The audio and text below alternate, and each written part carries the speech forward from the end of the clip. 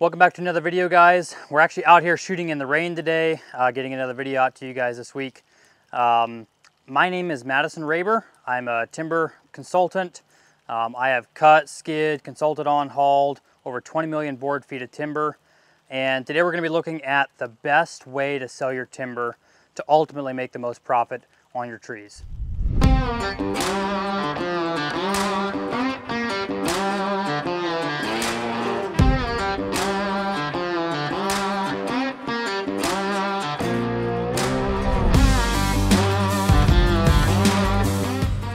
So today we're going to be looking at three different uh, types of buyers and the best way to sell your timber in your specific region. So I'm located out of Ohio here and it's very applicable to Ohio, Pennsylvania, parts of Kentucky, Indiana, West Virginia, uh, Michigan.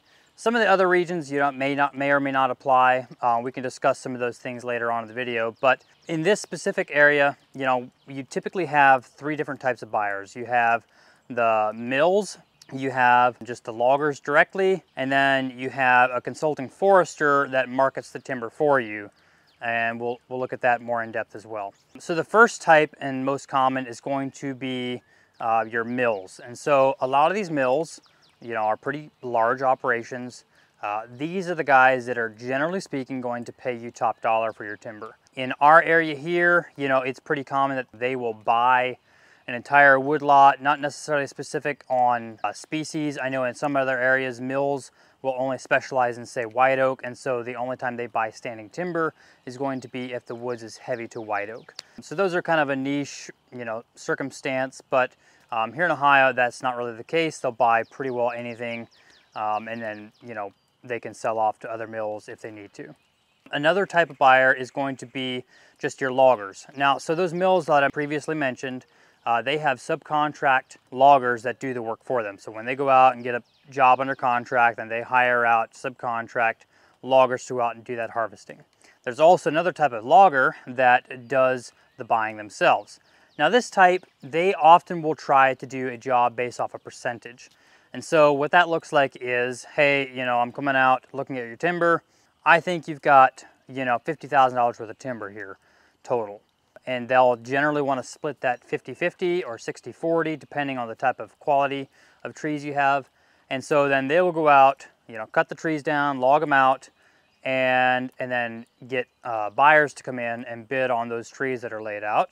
And then whatever that brings, say it brings $50,000, you know, you get $25,000 and the logger gets $25,000 and out of that 25,000 is going to cover their costs, their labor, their overhead and that's a pretty straightforward. On that, you typically won't see the money until after the project is completed. That way, you know, a lot of these operations are a little bit smaller. They don't have the capital to be able to purchase everything up front, and that's why they're doing it based off a percentage. The third way is going to be through a consulting forester. You know, depending on the area, you may or may not be able to do this. In some areas, you know, for example, out in Illinois, it's not nearly as common to work through a consulting forester. Um, but here in Ohio, you know, there's quite a bit of uh, foresters like myself, which is what I do. And we are essentially real estate agents for timber. Not only are we doing that, but we also have a completely unbiased look at your timber. We're trying to achieve your goals as a landowner and, and we're going in and marking those trees on your behalf.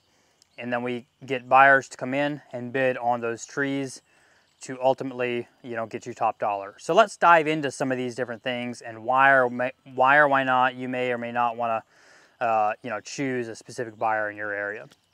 So from my experience, in most cases, going directly to the mill is going to, you know, get you top dollar for your timber. And I, you know, I have other videos going through, you know, what they're looking for, how much they need to make it worth their time and all that. You can check out my other videos.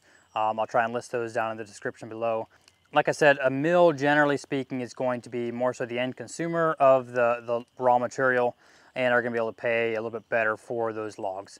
But like I mentioned previously, that's gonna be pretty region specific. So, you know, down in Kentucky, for example, you might have mills that specialize in white oak. You know, there's not a great market then for the red oak, in which case they they you know won't be able to pay as much. So then in that scenario, you're better off working through a logger. You know, he knows the buyers in your area and, and be able to do it that way.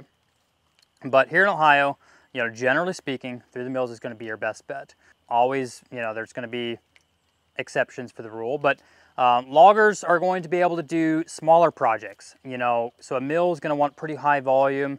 Um, loggers are going to be willing to deal with a little bit more on, you know, with you and the landowner, some of the, some of the specific requests you might have. They're going to be able to do smaller jobs, a little bit more niche things. And so there is a place 100% for the loggers. Like I said, a lot of these guys will want to do percentage splits, not all of them, but a lot of them. You know, I've seen this work out pretty well. And, and in some areas, you know, if, if, if your timber needs cut or you're looking at it specifically from a, a habitat improvement standpoint, you may just simply have to work through a logger if that's what's available in your area. And then third, like we said, is the um, consulting forester. And the reason I believe this is the best way to sell your timber, especially if you have larger volume, these guys go out and they're working on your behalf to get you top dollar. We are incentivized to get you top dollar. That way we ultimately get paid more as well. So a lot of these guys will operate based off a percentage, any, you know, ranging from six to 12% is pretty standard.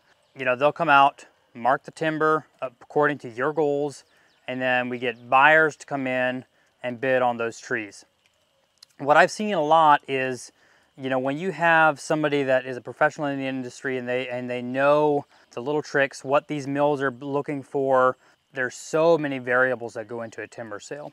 And so when you have a professional working on your behalf, I have seen time and time again, the jobs just end up bringing more money. So um, an example of this was back when I was buying timber for myself and for another company as well, I would put bids in on Forester jobs and it was just, it blew me away how much more these jobs would bring than, you know, if we were going directly to a customer, you know, just, they generally just brought more money and it was even more than, you know, more than covered what the cost of the, the Forester was charging. And then you also had somebody there to work with you throughout the process and make sure the job is done correctly. And so that's ultimately why I began to consult um, for the last two years I've done this. My goal is to get you as a landowner top dollar for your timber and be able to help you walk through the process, teach you along the way about this process. Hopefully down the road, if you've you know done the sale a few times, you've, you've sold a couple pieces of timber, you very well may not need a consulting forester. This is something you might be able to do yourself. Another kind of region specific, I was working with a guy out in Illinois and out there, you know, it's a little bit different. It's primarily going to be loggers where you're doing percentage splits. Uh, the main thing in all of this, and I would say this is kind of an all-encompassing, a few key things to take away before you do a timber sale, regardless of who you sell through. And that is going to be to get your timber marked, make sure all the trees that are getting cut are marked, that are clear between you and the buyer which trees are being taken. That way, when you get multiple guys in to bid, it is pretty clear which is the high bidder. When you don't have that clarity, you might have multiple offers, but they're gonna be on different trees. Everybody wants to do things a little bit differently. And it's going to be tough to be able to compare apples to apples on what your bids are. So last but not least, ultimately, you are in control. When you set the parameters of the sale, you're just ultimately gonna get more money for um, your timber in that scenario. It's easy to, you know, feel like, well, I don't know much about timber and, you know, you don't take the time to educate yourself on the timber. It's easy to get taken advantage of in those scenarios. And that's where you hear a lot of those horror stories. And sadly, a lot of times it's even, you know, family members or people you know that can come out and, you know, potentially, you know, take advantage of you just because you're not aware of the industry and how the industry works. So I've got a whole bunch of videos, you know, going through different different ways of selling, much more in-depth than this video. Um, but I wanted to take the time to just kind of go over the best ways to sell your timber and you know the way to maximize profit on your end when you actually do a timber sale. Hopefully you guys enjoy this video. We try and upload every other week on a Thursday. I will see you next time.